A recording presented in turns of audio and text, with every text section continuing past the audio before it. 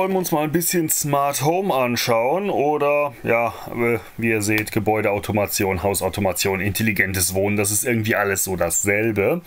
Ähm, ja, darunter wird meistens verstanden, dass intelligente Hausgeräte, wobei das der falsche Begriff ist, weil meistens sind es eher die dummen Geräte, irgendwie miteinander vernetzt werden und ja, so einem das Leben erleichtern sollen. Ich bin schon lange im Smart Home Bereich aktiv. Ich glaube, ja, so Haussteuerung oder Steuerung allgemein war auch mein Einstieg in die Elektronik vor sehr langer Zeit. Ähm, habe ja auch inzwischen mit Asus Booster mein eigenes Steuersystem. Aber die meisten von euch werden das nicht haben und selbst wenn, es ist ja auch schön, irgendwie eine Zentrale zu haben, worüber man das Ding irgendwie dann per Smartphone steuern kann oder per PC. Denn ja, nicht jeder möchte Lichtschalter drücken, oder wie war das? Wenn wir uns an der Open Source Szene umgucken, da gibt es zwei große Projekte, die haben beide ungefähr das gleiche Ziel. Die wollen möglichst viele Geräte von möglichst vielen Herstellern unterstützen und dann eine einheitliche Oberfläche bereitstellen. Das bekannteste, das dürfte Open Hub sein. Das ist äh, Open Home Automation Base oder so ähnlich. Nee, wie auch immer. Das ist also ein Steuersystem, was Open Source ist. Wenn wir auch irgendwo hier die Screenshots groß kriegen. Ah, hier haben wir zum Beispiel so ein Standard-Panel, wie das aussehen kann. Wir haben hier die Flure, Temperaturen zum Beispiel. Und wenn wir irgendwo reingehen, dann können wir hier Sachen an- und ausschalten und so weiter. Problem an Open Hub, zumindest mal für mich, das sehen wir direkt hier auf der ersten Seite, die man zur Begrüßung bekommt, developed in Java.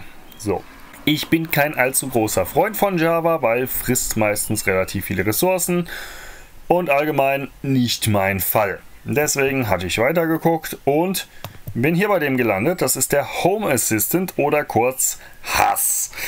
Ja, äh, für Deutsche eine tolle Abkürzung. Ähm, ist ein alternatives System, hat, wie ihr hier sehen könnt, eine ähnliche Oberfläche. Wir haben hier zum Beispiel Lichter und die können wir dann hier ein- und ausschalten. Hier oben Temperaturen und solche Sachen. Und ähm, ja, das Ganze ist in Python 3. Python ist jetzt auch nicht unbedingt meine Hauptsprache, aber es ist noch nicht ganz so tief auf der mag ich nicht Skala wie Java. Von daher holen wir doch das. Hauptsächlich ist das Ganze gebaut für einen Raspberry Pi. Äh, würde ich jetzt nicht unbedingt empfehlen. Raspberry Pis haben nicht unbedingt den Ruf, besonders zuverlässig zu sein. Deswegen, äh, gerade wenn wir von Steuerung reden, da bin ich kein Freund von. Was auch relativ ähm, ja, gut und schlecht zugleich ist, das ist hier, wenn wir drauf gucken, letzter Release 30. April. Es kommen hier quasi alle paar Tage, Wochen neue Versionen raus, die dann neue Sachen unterstützen, äh, alte eventuell reparieren. Ist natürlich schön, heißt aber auch, hä, ihr solltet ab und zu mal ein Update machen, wenn ihr auf dem aktuellen Stand bleiben wollt. Um mal so eine Übersicht zu kriegen, können wir unter Components gucken. Da ist einfach mal so eine Liste von allem möglichen Zeug, was da unterstützt wird. Also ihr könnt da irgendwie vom Staubsauger über IKEA-Lampen, über euer Media Center, WLAN und im Zweifelsfall auch euer Auto so ziemlich alles benutzen. Also daran soll es irgendwie nicht hängen. Die Liste ist sehr lang, was ihr da machen könnt. Wir wollen aber erst einmal das Ding ans Laufen kriegen. Wenn wir dann oben auf Getting Started klicken, dann kriegen wir direkt hier die Anleitung für Hass.io. Das ist deren Distribution für den Raspberry Pi. Das geht dann natürlich relativ flott. Einfach das Image hier herunterladen mit äh, Etcher oder ähnlichem. Das Ganze auf die SD-Karte machen, reinstecken und hey, ihr seid fertig. Also so ungefähr. Das Ganze gibt es auch noch als alternative Methoden. Das hier ist wie gesagt für den Raspberry Pi 3. Es gibt noch die ältere Variante, das ist Hasbian. Das ist ähm, auch dann für Raspberry Pi 0, 2, 3 und 3B plus was auch immer das alles ist. Aber wie gesagt will ich ja nicht, also gehen wir direkt hier in Python rein. Äh, das heißt, wir brauchen irgendeinen Python 3, möglichst ein 3.5 oder später. Ähm, sollte heute eigentlich bei allen größeren Distributionen verfügbar sein. Ich meine, sogar Debian sollte inzwischen soweit sein. Außerdem wird hier empfohlen, ein Virtual Environment zu benutzen. Ähm, das hat Vor- und Nachteile. Vorteil, es ist im Prinzip eine Art ja, Container, kann man quasi sagen, wo alle Voraussetzungen für den Home Assistant drin installiert werden. Das ist dann im Nutzerkontext, der ist vom System unabhängig. Heißt natürlich, solche Sachen wie Software-Updates vom System schießen euch da nichts kaputt. Aber andersrum auch, sie kommen da nicht an. Das heißt, eventuell schleift ihr da irgendwelche alten Versionen mit bekannten Sicherheitslücken mit und das in eurer Haussteuerung. Also, wenn ihr das benutzt, regelmäßig auch da drin Updates machen. Die Standardsystem-Updates machen das nicht mit. Theoretisch kann man es auch ohne machen, da müsst ihr allerdings dann aufpassen, das ist ein bisschen komplizierter, je nach Distribution die ganzen Libraries an die richtige Stelle zu bekommen. Geht zwar per PIP, aber das kracht dann manchmal mit den Paketmanagern und äh, wir benutzen dann lieber hier VNF. Ähm, für Debian stehen hier die Pakete drin, ansonsten, ich denke, ihr kriegt es raus, wo man PIP und VN für Python 3 herbekommt. Das sollte sich finden lassen. So, ich würde sagen, wir machen erstmal ein VNF. Dafür habe ich hier einen leeren User. Wenn wir hier mal reingucken, da ist nicht wirklich was. Ähm, das erste, was wir machen, ist hier dieses VEnv. Damit legt er ein neues Verzeichnis mit dem Namen Home Assistant an und bereitet das vor für unsere Python-Späße. Habt gesehen, dauert einen kleinen Moment, können jetzt da reingehen. Wenn wir hier uns mal umgucken, da hat er jetzt so bin, include, lib, lib64, also so die gängigen Sachen in diesem Unterordner reingelegt. Wir müssen jetzt noch dafür sorgen, dass unsere Shell hier, wo wir tippen, auch weiß, dass er bitte hier in diesem Container arbeiten soll. Dazu gibt es dann source bin activate und jetzt steht auch hier vorne in Klammern dabei, okay, wir arbeiten jetzt gerade im Kontext von diesem Ordner Home Assistant. Nächster Schritt ist, wir installieren per pip einmal install wheel ja, successfully installed, ist also alles da. Das hat er jetzt auch von der Python-Webseite direkt heruntergeladen. Das läuft also nicht über eure Distribution. Äh, was euch eventuell aufgefallen ist, ich habe direkt pip getippt. Hier wird empfohlen, Python 3-mpip zu benutzen. Das hat damit zu tun, ähm, hiermit geht ihr sicher, dass ihr das pip von Python 3 benutzt, weil Python 2 hat auch eins. Ich bin hier unter Arch Linux, da bin ich mir sehr sicher, dass pip das von Python 3 ist, nicht Python 2. Von daher kürze ich mir das ein bisschen ab. Ähm, ist jetzt hier noch am Meckern, weil mein PIP nicht aktuell ist. Ja, ich habe mein System nicht aktualisiert. Yay, keine Neuigkeit. Soll jetzt mal nicht so interessieren. So, jetzt sagen wir noch pip install home assistant. Tant, richtig tippen hilft. Und auch hier sehen wir jetzt, er lädt jetzt jede Menge Sachen runter oder holt es aus irgendwelchen Caches. Das sind die ganzen Voraussetzungen, die wir brauchen. Und das alles wird jetzt in diesem Ordner hier rein installiert. Habt ihr jetzt gesehen? Er sagt jetzt hier unten schon Installing Collected Package Successfully Installed unter anderem Home Assistant in der aktuellen Version. Und das war's auch schon mit dem Setup. Denn ähm, ja, mehr gibt es dazu nicht zu sagen. Jetzt kann man auch Autostart konfigurieren. Da könnt ihr mal reinschauen. Da gibt es verschiedene Varianten. Systemd, Upstart, Init, je nachdem, was ihr so haben wollt. Äh, müsst ihr ein bisschen rumbasteln, weil ihr halt da im Kontext arbeitet. Das ist dieses Python Virtual Environment. Aber hier ist eine Vorlage, ihr müsst im Prinzip nur die richtigen äh, Pfade hier eintragen. Das war's dann schon. Ich werde das Ganze hier per Hand starten und einfach sagen Hass. OpenUI brauche ich nicht, das öffnet im Prinzip nur den Browser. Ihr seht jetzt hier kommen ein paar Meldungen, das ist jetzt erster Starter, bereitet er einiges vor, installiert dann noch ein paar Sachen nach. Und so nach einer Minute oder so sollte er dann halbwegs durch sein. Dann können wir mal so Richtung Browser gehen. Dann versuchen wir das einfach mal. Nämlich Localhost oder die IP von eurem Server geht natürlich auch. Doppelpunkt 8123. Drücken einmal Enter und Nope, noch nicht da. Also, er ist immer noch am Installieren. Na dann warten wir noch ein bisschen. Ja doch, hier. Ah, jetzt ist er fertig. Home Assistant initialized. 63,07 Sekunden. Jetzt aber waren wir wohl ein bisschen schnell und da sind wir schon. Unser Home Assistant läuft jetzt. Wir haben schon ein paar Sachen hier drin. Zum Beispiel zeigt er hier oben äh, den aktuellen Sonnenstand. Also ist die Sonne über dem Horizont oder unter dem Horizont. Wir können bereits hier ein paar berechtigte, äh, berechnete Werte sehen. Zum Beispiel, dass in 5 Stunden die Sonne untergeht. Ich glaube, der ist am falschen Standort. Nein, geht sie nicht. Wir sehen das aktuelle Wetter, wo auch immer das jetzt ist, denn mein Standort ist es wie gesagt nicht. Deswegen sollten wir eventuell das, was hier steht, benutzen. Na, ein bisschen größer, kann man es auch lesen, nämlich Configuring Home Assistant, die Komponenten Troubleshooting, Getting Help. Was außerdem noch eventuell für euch interessant ist, hier oben gibt es noch die Spracherkennung. Das Ganze bin ich mir jetzt nicht sicher, es wird über einen Cloud-Dienst laufen.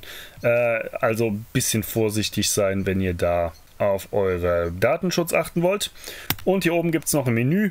Was da interessant ist, ist einmal das Logbuch. Da kann man sehen, was denn so alles passiert ist im Haus. Verlauf ist von den einzelnen Komponenten nochmal das Logbuch grafisch aufbereitet. Und was für mich ganz interessant ist, sind die Zustände hier unten. Wenn wir da reingehen, das ist dann schon so Richtung Programmieren. Da können wir nämlich sehen, wie diese ganzen Sachen heißen, die wir hier nutzen. Zum Beispiel diese Sonne, die wir eben gesehen haben, das ist sun.sun. Den könnte ich hier dann auch ansteuern. Das braucht man später, wenn man da mehr Sachen programmiert. Je nachdem, was ihr in eurem Netz habt, taucht bei euch hier auch noch mehr auf. Wir können zum Beispiel, haben wir hier, ja, Hammer, Moment. Ne, will wohl nicht. Ich hatte gerade mal so einen Chromecast angeschlossen. Ich dachte, der wäre da. Ah, doch, jetzt kommt er. Hier haben wir unseren Chromecast. Der wird also zum Beispiel automatisch erkannt. Und ich gehe davon aus, wenn ihr irgendwelche Smart Home LED-Gedönse in eurem WLAN habt, dann würde das auch automatisch erkannt und hier schon angezeigt. Wie auch immer, gucken wir uns mal an, wie wir die Konfiguration machen können. Dafür gehen wir wieder auf die Textkonsole, das ist am einfachsten. Ich beende den jetzt hier mal. Äh, theoretisch kann man den noch laufen lassen, dann Reload machen, aber äh, ich habe jetzt keine Lust, hier noch mehr Terminals zu machen. Wir gehen einfach einen Ordner nach oben, also wieder in unser Home-Verzeichnis vom Nutzer.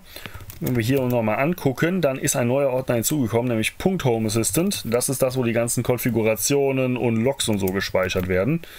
Wenn wir reinschauen, das ist für uns ganz wichtig, die Configuration.yaml. Äh, YAML, das ist äh, Yet Another Markup Language. Das ist so ein Syntax-Stil. Was ihr wissen müsst, achtet ein bisschen auf die Doppelpunkte und die Einrückung.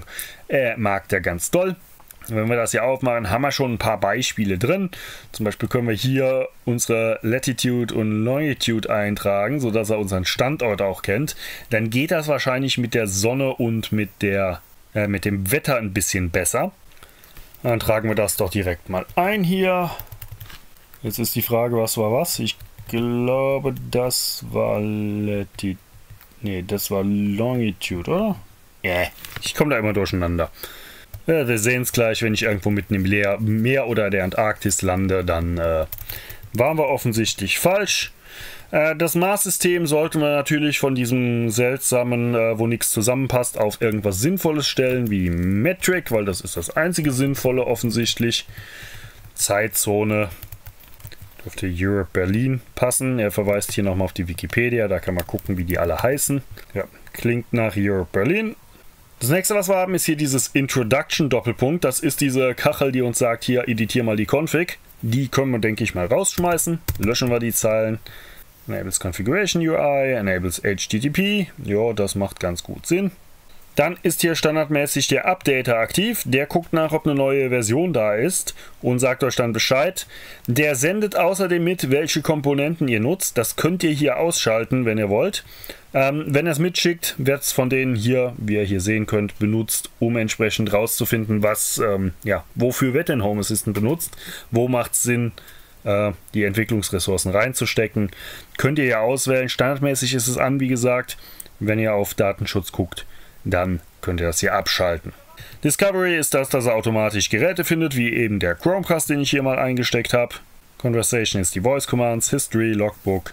Ja, wollen wir im Prinzip alles haben. Sonne, Sensor und Text-to-Speech macht er hier per Default über Google. Gibt es wahrscheinlich auch andere Anbieter. Könnt ihr auch in dieser Komponentenliste hier mal gucken. Hier gibt es bestimmt auch irgendwo Text-to-Speech. Genau, können wir draufklicken. Dann kriegen wir eine Liste, was wir denn alles so benutzen können. Zum Beispiel dann auch Pico Text-to-Speech. Das wäre dann, wenn ich richtig im Kopf habe, lokal. Jo, genau. Offline Pico Text-to-Speech Engine. Und hier seht ihr auch die großen Vorteile, wenn wir zum Beispiel hier uns mal das TTS Google angucken, was ja schon drin ist, Plattform Google. Da gibt es noch weitere Komponenten und zwar können wir optional die Sprache angeben. Ja, wäre für uns vielleicht nicht so schlecht, da hier dieses DE hinzuschreiben.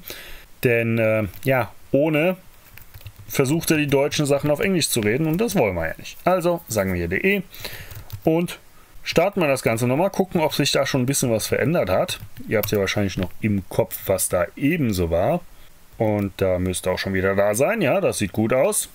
Ihr habt also gesehen, ich habe jetzt nicht per Hand neu geladen, er hat es automatisch neu verbunden. Äh, Chromecast taucht auch wieder aus. Und wenn wir hier gucken, unter dem Horizont, die Sonne ist also bereits untergegangen. Sie geht in sechs Stunden um 4.21 Uhr auf und geht um 16.48 Uhr hier unter. Äh, außerdem haben wir hier das Wetter. Das dürfte jetzt auch halbwegs richtig sein. Gehe ich von aus. Vom norwegischen äh, Wetterinstitut. Äh, hier in der Historie seht ihr jetzt, es gibt viele Stellen, an denen Home Assistant ähm, sicher noch ein bisschen Politur braucht. Hier beispielsweise, ähm, das ist das Symbol für Sonne. In der Historie steht dann aber irgendwie nur Symbol 2, Symbol 1. Ihr könnt aber nicht sehen, was das jetzt heißt. Also das hier heißt zum Beispiel Sonne offensichtlich, weil im immer bei Symbol 1 mit der Sonne. Yay. Ja, nächster Schritt wäre dann, eure Komponenten irgendwie einzubinden, wenn es nicht automatisch gemacht wurde. Das heißt, ihr geht hier rein, sucht euch mal raus, was ihr denn so zu Hause habt und ob das Ganze irgendwie ähm, ja, unterstützt wird. Was für Buster natürlich ganz interessant ist, man kann solche Späße machen wie HTTP, irgendwelche Sensoren darüber abfragen oder auch für die neueren Leute MQTT. Da gibt es jede Menge unterschiedliche Sachen. Äh, nicht erschrecken, das ist für unterschiedliche Dinge halt. Wir können zum Beispiel Presence Detection machen, also ob jemand zu Hause ist oder nicht. Cover sind solche ähm, ja, Rollläden oder ähnliches in die Richtung. Lüfter, Klimaanlagen, Licht. Das kommt halt immer darauf an, was ihr gerade haben wollt. Machen wir mal einen ganz einfachen Sensor. Da seht ihr hier, wenn wir da drauf gehen, ist auch schon eine Beispielkonfiguration da und die ganzen Sachen, die wir setzen können, wenn wir denn wollen. Ihr seht, das kann man sehr ausführlich machen. Äh, meistens macht es auch Sinn, mal durchzugehen. Aber wenn wir es einfach haben wollen, dann reicht auch hier oben das Example. Beenden wir das hier mal wieder und gehen nochmal in die Config. Jetzt gucken wir erstmal, gibt es bereits Sensor? Und ja, Sensor gibt es bereits. Das heißt, wir brauchen hier nicht nochmal Sensor zu schreiben, sondern wir gehen hier hinten hin, holen die Plattform YR. Ich glaube, das ist dieses Wetter, meine ich. Gehen jetzt hier hin, machen Minus Plattform MQTT eingerückt und jetzt State Topic geben ein, wo unser Topic ist. Dann lasst mal schauen, was ich hier habe. Dann holen wir einfach mal Temp außen, den müsst ihr ja so erkennen. Äh, was man natürlich auch brauchen, wenn wir MQTT benutzen, das ist MQTT selber. Können wir hier bei den Related Components draufgehen und dann müssen wir die IP-Adresse vom Broker und so eintragen. MQTT kommt hier noch nicht vor, das heißt, ich mache hier oben einfach irgendwo mir mal Platz und mache mir hier ein neues MQTT Doppelpunkt. Nein, nicht eingerückt. Auf die Höhe sollst du. Und dann hier Broker und die IP-Adresse vom MQTT-Broker, den ihr nutzt. So, ich habe das jetzt bei mir alles eingetragen. Äh, noch ein paar Sachen mehr, denn ja, bei mir ist das Ganze selbstverständlich mit Zertifikaten und Passwörtern und so verschlüsselt. Man will ja nicht hier jeden, der Zugriff auf WLAN bekommt, da auch Zugriff auf die heimischen Sensoren geben und Invalid Config. Äh, lasst mal schauen. Wenn wir hochscrollen, da finden wir dann auch ein paar Fehlermeldungen. Äh, das hier ist vom Sensor, der konnte nicht aufgesetzt werden, weil MQTT selber nicht läuft. Okay, gerade nachgeschaut, im Log steht weiter oben, dass es ein SSL-Fehler ist, also von meinem Setup. Äh, Moment. Okay, und ich bin gerade auf ein anderes System gewechselt, aber hier so sollte es dann ungefähr bei euch aussehen. Wir haben die beiden Symbole, die wir bereits hatten, Sun und äh, YR. Und haben jetzt zusätzlich dieses MQTT-Sensor und im Moment 12,1. Das ist jetzt die aktuelle Außentemperatur. Ist jetzt natürlich alles nicht so schön. Äh, also gucken wir mal, ob man das schöner machen kann. Dazu gucken wir einfach hier nochmal in die Doku rein und wenn wir hier gucken, ja, Name klingt doch ganz gut. Default Value MQTT Sensor, ja, vielleicht sollte man das Ding irgendwie sinnvoll umbenennen. Und auch Unit of Measurement. Was ist denn das überhaupt für eine Einheit? Außerdem haben wir noch Icon, klingt auch alles gut. Yay. Ähm, graben wir uns nochmal die Config. Und schreiben jetzt hier einfach dabei. Name Doppelpunkt äh, Temperatur außen. Okay. Ich habe jetzt gerade leider kein Terminal hier, was Sonderzeichen kann, deswegen geht das nicht ganz so gut. Und Unit of Measurement und hier käme jetzt gerade Celsius hin. Auch das natürlich eher schlecht bei meinem Terminal-Emulator gerade. Wenn wir das Ganze jetzt speichern und einmal neu machen, dann sieht das schon ein bisschen anders aus. Und zwar haben wir dann hier die richtige Anzeige. Wir bekommen die Temperatur außen angezeigt als Text und haben hier unten in diesem Kreis noch ein kleines Grad Celsius drin. Außerdem, wenn wir jetzt draufklicken, kriegen wir jetzt hier so eine schöne Tabelle, äh, beziehungsweise ein Diagramm, wo wir die Temperaturen der letzten Zeit so sehen können. Ähm, das ist nur für Kurzzeit wirklich sinnvoll brauchbar. Ihr seht jetzt bei mir, ist es seit 23.05 Uhr aufzeichnet. Äh, theoretisch sollte es auch länger gehen, aber bei mir läuft das nicht ganz so rund. Ich habe allerdings auch einiges dran rumgefummelt, weil äh, ich hatte da auf einmal so eine 4 GB Datei mit Historiendaten und das war dann doch ein bisschen viel für mein System. Deswegen habe ich da versucht, das auszudünnen, absichtlich. Gut, Messwerte ist eine Sache, Steuer eine andere. Also machen wir uns noch einen schönen Schalter dabei. Wenn wir hier gucken, es gibt hier den MQTT Switch. Das wäre, um irgendetwas an- auszuschalten. Wir können aber auch spezieller werden, zum Beispiel für einen Lüfter, für eine AC, also eine Klimaanlage oder für ein Licht. Ich gehe jetzt absichtlich mal auf Licht. Die einfachste Konfiguration, die läuft im Prinzip identisch, nur dass wir nicht Sensor-Doppelpunkt, sondern Light-Doppelpunkt haben. Und da schreiben wir Plattform MQTT und dann Command Topic und das, wo es hinschreiben soll. Standardmäßig schickt er für an, glaube ich, ja, für an er on in Caps Lock und für aus schickt er off in Caps Lock.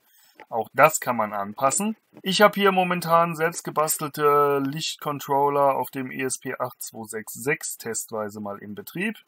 Die laufen allerdings nicht mit MQTT, sondern die laufen mit MQTT JSON.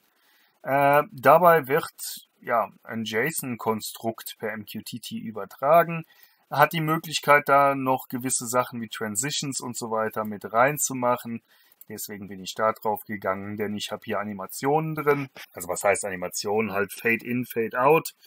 Könnte man auch anders konfigurieren, aber äh, hier so hatte ich die einfachen Vorlagen gefunden, deswegen bin ich den Weg gegangen. Auch das sieht nicht unbedingt anders aus, nur heißt jetzt die Platform nicht mehr MQTT, sondern MQTT JSON. Und ähm, ja, ich kopiere mal gerade etwas zusammen. Und das kann dann zum Beispiel hier so aussehen. Wir haben jetzt hier entsprechend die Plattform, Namen vergeben, in dem Fall Schlafzimmerraum, weil ich habe keine Lust, mich auf der Couch hier wegzubewegen. State Topic, Command Topic. Ihr habt eben im Beispiel gesehen, aber nur ein Command Topic. Ich habe ein State Topic dabei, das heißt, der kann auch äh, nachgucken, was ist denn der aktuell wirkliche Stand. Außerdem habe ich Brightness angeschaltet. Ich kann also auch die Helligkeit einstellen. Effekte, ja gut, benutze ich eigentlich nicht. Optimistic Transition, äh, das können wir einfach mal weglassen. Das ist sehr speziell. Ähm, ja, holen wir uns das mal rein. Und schon haben wir dieses Teil hier. Wir haben eine Einheit, die sich jetzt Lichtteil äh, nennt. Hier so eine Kachel. Haben entsprechend Licht, Schlafzimmer, Raum. Und wenn wir hier drauf dann sollte da theoretisch auch was passieren und das sieht doch gut aus. Hier vorne das Icon kann man im Übrigen auch ändern, wenn ihr das machen wollt. Noch ein kleiner Tipp. Äh, wenn wir hier nämlich reingucken, da gibt es glaube ich nur Icon-Doppelpunkt, oder? Also anscheinend nicht für Licht, für Light, aber für Switch zum Beispiel, da können wir Icons festlegen. Hier steht nur als Beispiel MDI Doppelpunkt Radiator als String. Kleiner Tipp von meiner Seite, ihr wollt auf die Material Design Icons gehen sprich materialdesignicons.com. Und wenn ihr da seid, da sollte hier gleich irgendwo auch ein Suchformular, ach ne, hier oben ist es ja schon erscheinen. Ja, mein PC ist dafür ein bisschen zu langsam, aber normal könnt ihr hier bei der Suche etwas eintragen. Zum Beispiel, was weiß ich, Thermometer. Und dann filtert er das Ganze raus und hier unten sind jetzt gleich nur noch Thermometer drin. Dann können wir dann anklicken, was wir haben wollen. Okay, äh, hat jetzt nicht funktioniert. Ich habe jetzt einfach mal einen anderen geholt, weil es hier so langsam ist. Und dann habt ihr hier oben diesen großgeschriebenen Text. Das ist der Hauptname. Den könnt ihr dann benutzen. Also MDI Doppelpunkt Access Point Network. So könnt ihr das Icon ändern. Oh, ich bin ja schon etwas weiter. Wenn wir hier zum Beispiel auf meins drauf gucken, äh, ich habe hier mehrere Kacheln gemacht. Das sind sogenannte Gruppen. So kann man dann Räume zum Beispiel gruppieren. Man kann auch hier oben diese Tabs verwenden. Ich habe hier oben schon ein bisschen mit Anwesenheit experimentiert, dass jetzt einfach auch meine Geräte im WLAN sind. Und am Schluss könnte man dann auch noch Automationen dabei machen. Hier steht jetzt zum Beispiel, wenn der Türöffner für mehr als fünf Sekunden an ist, dann schalte den Türöffner aus. einfach um der nicht die Spulen zu überlasten. Man kann aber natürlich auch solche Sachen machen wie, wenn jemand zu Hause ist und draußen dunkel ist, dann schalte Licht im Flur an oder solche Sachen. Das ist ja auch eigentlich das, was man hinter Smart Home versteht. Ist jetzt bei mir nicht so ganz das, was ich mache, weil ich versuche, die Intelligenz in meinem Steuernetz zu halten und nicht in hier so einer zentralen Einheit, aber man kann es auch hier drüber entsprechend dann konfigurieren, wenn einem das lieber ist. Ja, ihr seht, ich benutze das Ganze momentan mehr oder weniger einfach nur als GUI für meine ganzen Sachen. Hier diese Lichter, die sind zum Teil auch in meinem äh, CAN-Netz drin. Da bin ich so ein bisschen mit MQTT-Gateways am rumexperimentieren. Das ist alles noch so Alpha, Beta, Gedönse, zumindest mal die Anbindung an meinen CAN-Bus. Ähm, da habe ich noch ein paar Probleme wegen, ja, nennen wir es mal Echo, also die Daten, die ich raussende, die kommen ja wieder zurück und das muss ich irgendwie als doppelt erkennen. Äh, alles ein bisschen aufwendig. Aber ich denke, ihr habt gesehen, das Home Assistant selber, das funktioniert auf jeden Fall, ist relativ flott eingerichtet und ähm, gerade wenn ihr schon Smart Home Geräte habt von verschiedenen Herstellern, dann ist es eventuell mal ein Blick wert, denn so könnt ihr die auf eine zentrale Oberfläche machen. Das ist einfach nur eine Webseite, das heißt, ja, sie sollte im Browser funktionieren, sie skaliert auch auf Mobiltelefon oder so relativ gut runter. Und wenn er VPN oder so nutzt, dann sollte sich das auch im Zweifelsfall von unterwegs benutzen lassen. Bitte nicht direkt eine Portweiterleitung irgendwie in der Fritzbox einrichten. Keine gute Idee, das geht schief. Ich habe mit Home Assistant jedenfalls mein Ziel erreicht. Ich habe eine grafische Oberfläche, die ich vom PC und Handy aus erreichen kann. Das war so mein Punkt. Wie gesagt, für Automatisierung benutze ich es jetzt eigentlich weniger. Das versuche ich eher in die Knoten selber reinzukriegen. Aber ja, wie zu sehen war, auch das funktioniert, wenn man das denn haben möchte. Ansonsten, no, ist auf jeden Fall ein Projekt, wo sich noch viel tut. Es wird immer mehr Hardware hinzugefügt und ähm, ja, lässt sich auch relativ einfach auf die eigenen Bedürfnisse anpassen und tut zumindest dann hier, was es soll.